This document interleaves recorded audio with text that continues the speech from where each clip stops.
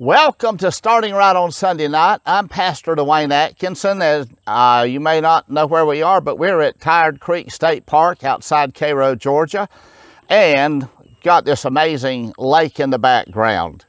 And we're going to be looking at when the lifeguard shows up. It's one of these stories in the Bible that has water in it. So that's the purpose of, of uh, us being here. Uh, but just before we begin, let's pray. Heavenly Father, thank you so much for your grace. Thank you for the privilege we have to spend some moments together uh, in your word. And we thank you for helping us start our weeks right uh, on Sunday night with devotions like this. And we pray for the crisis that so many people are in because of the COVID uh, epidemic or pandemic. And uh, we pray that you would comfort the hearts of those who have lost loved ones and those who are highly stressed because of uh, the, uh, the, the sickness and the people who have that, that they are close to. And we certainly pray for miracles and we pray that you would keep uh, the people who are treating all of these people, doctors, nurses, orderlies, uh, on and on the list goes. And we pray that you would keep them safe. But by the grace of God, we pray for a solution and a cure in Jesus' name. Amen. Well, what's it like to be in a crisis? We kind of feel that way occasionally in life, and sometimes uh, some of us a lot. But in Matthew 14, we're just going to share one verse from the Amplified Bible. And the Bible says there, in the fourth watch, in the Amplified Bible, it's between 3 and a.m. and 6 a.m. Between 3 and 6 in the morning, it's dark, okay? Of the night, Jesus came to them walking on the water. Have you ever thought about the job that lifeguards do? They save lives. Uh, there are people who are having, hopefully, a great time, and then the next thing you know, they're in trouble. The tide comes and other things take place and but here comes the lifeguard, the lifeguard that they need uh, to the rescue. And when you look at these watch, these, these watches in the Bible, the fourth watch of the night, that is a, a military term, a period of time, a military watch or a watch. And it's a period of time when those on duty, they serve, and then at the end of that watch, uh, if it's the watch, the fourth watch was between 3 a.m. and 6 a.m., then at the end of that fourth watch, here comes someone else to relieve them, if that's the case. And they have a, the next three hour period uh, to, to uh, be on guard. As this is partly due to the Roman influence, and because they were the ones who were occupying all these lands at this time, the number of watches uh, did increase to four, and, and they were described like this when I was looked this up. The first watch was from 6 p.m. to 9 p.m.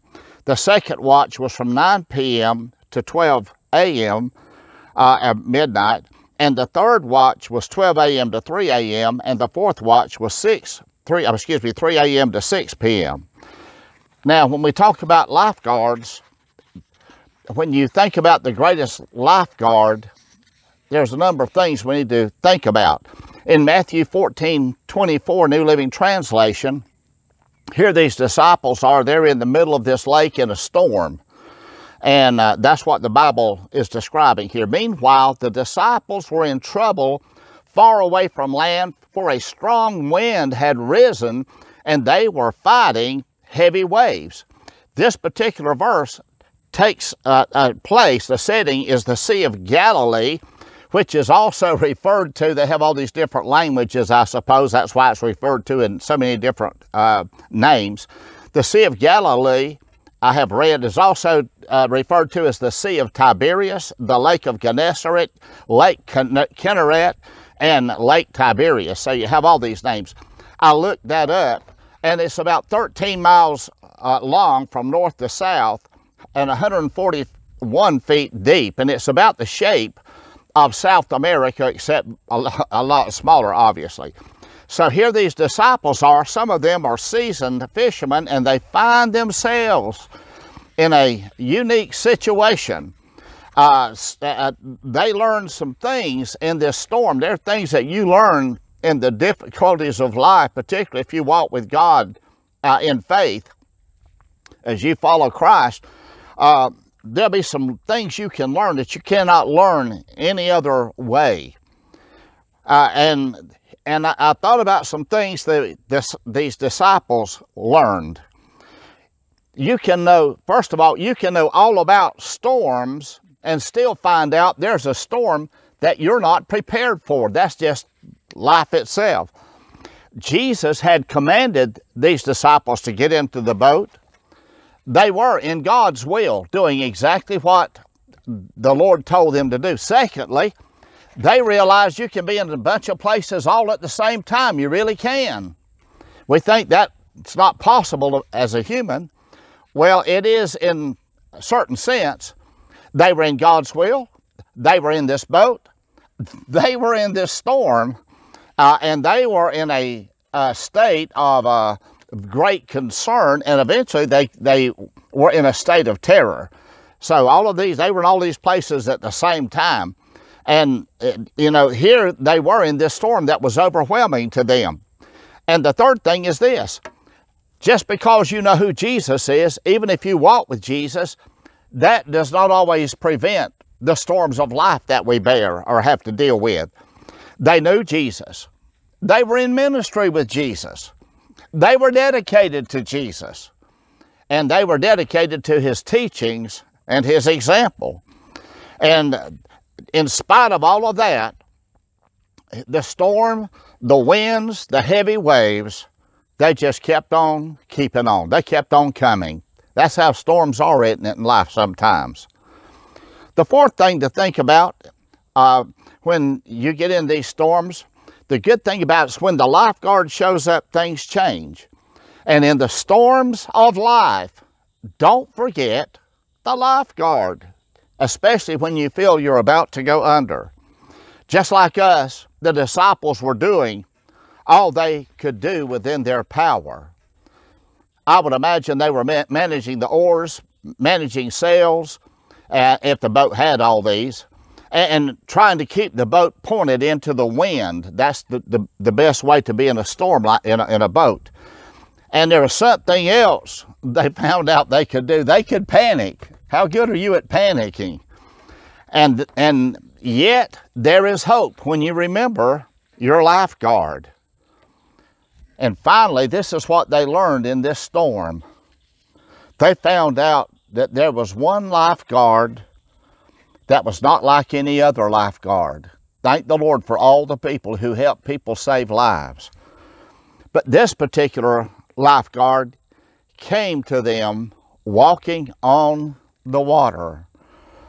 And may you and I remember when the storms of life are against us and when help seems so far away, even seem or look impossible, remember that Jesus, your lifeguard, if you're a child of God, and he really does walk on water.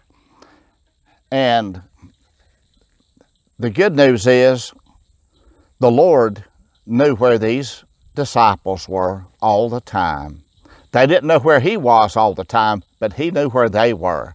And he came to them uh, in the middle of this lake, apparently, far away from any land, in the middle of this dark, uh, stormy circumstance.